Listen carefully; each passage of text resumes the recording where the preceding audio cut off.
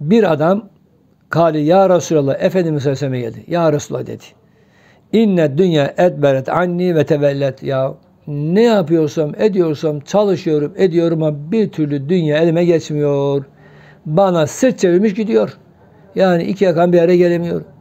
Ne kadar ticaret yapsam bir türlü bir yani e, durumu iyi gitmiyor maddi yönden dedi.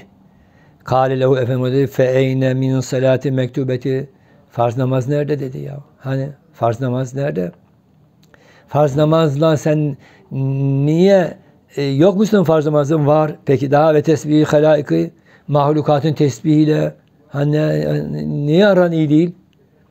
Ve bir yurzakune çünkü insanlar farz namazın akabinde söyleyeceğim bu tesbihi yapmakla rızıklanırlar.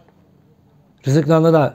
Farz namazı kıl arkasından kul söyle inde tulul fecri fecir doğduğu zaman sabah namazının arkasından şunu söyle. Subhanallahil azim ve bihamdihi. Bak Subhanallahil azim ve bihamdihi. Subhanallahil azim. Estağfurullah. Metemerre. Yüz kere.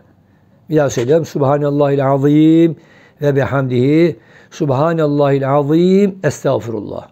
Yüz kere sabah namazını kıldıktan sonra bu duayı söyle dedi. Tehdike dünya sağire. Dünya böyle zelil olarak ayağına gelecek. Femekeser racul. Adam gitti. Fazla bir zaman geçmedi. Sümmehade döndü geldi. İtikat çok önemlidir. Bak. Döndü geldi. Kale ya Resulallah. Ey Allah'ın Resulü.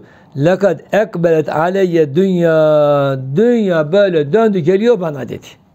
Fema edri eyne Allah'ı nereye koyacağımı bilemiyorum dedi. Ya Resulallah dedi dünya böyle yüzüme güldü dedi.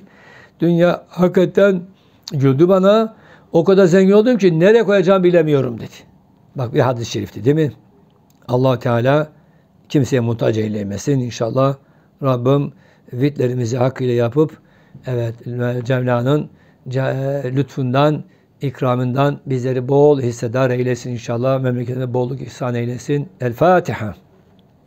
اللهم صل على سيدنا محمد وعلى آل سيدنا محمد